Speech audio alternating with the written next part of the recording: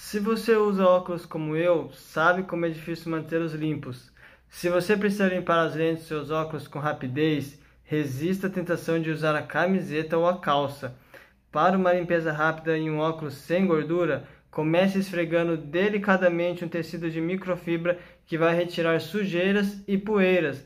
Lembrando que o tecido de microfibra também deve ser lavado regularmente idealmente com água e temperatura não superior a 40 graus e sem amaciantes. Limpar os óculos apenas com água corrente não vai retirar gorduras de comida ou marcas de dedos.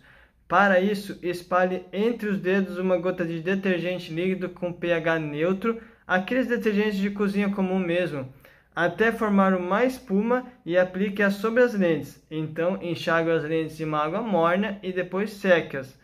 Essas simples medidas vão te ajudar em muito a manter os óculos sem riscos e sem sujeiras.